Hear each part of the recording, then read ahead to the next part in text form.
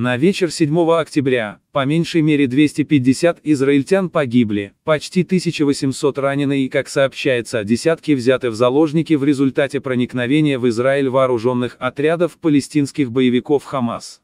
Диверсии предшествовала массированная ракетная атака Израиля села территории сектора Газа. Израиль заявил, что находится в состоянии войны и объявил мобилизацию.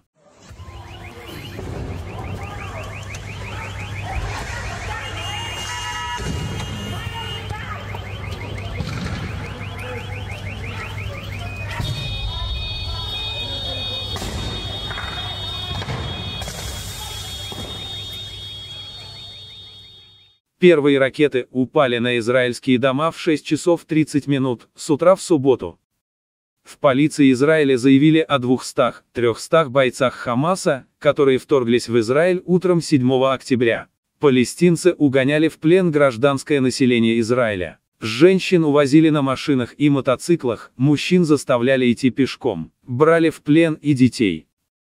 Представитель одной из палестинских группировок Давуд Шихаб публично назвал главной целью операции Хамас в Израиле захват заложников. По словам Шихаба, заложники нужны для обмена на находящихся в израильских тюрьмах палестинцев, а также как живой щит и гарантия, что армия обороны Израиля не начнет наземную операцию в Газе. После нового авиаудара по кварталам Газы Хамас пригрозил запустить полторы сотни ракет, и вечером они прилетели в Тель-Авив и соседние города. Нападение Хамас на Израиль одобрили Сирия, Иран и ливанское движение Хизбалла. В Иране успешную атаку палестинцев даже праздновали с фейерверками.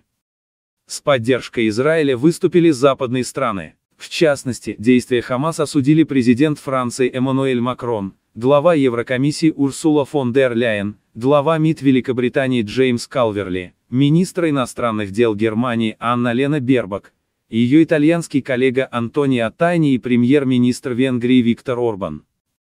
Вечером 7 октября, уже после второй ракетной атаки, премьер-министр Израиля Беньямин Нетаньяху обратился к нации в телеэфире. Он заявил, что израильская армия задействует всю свою мощь, с целью уничтожения Хамас в секторе Газа.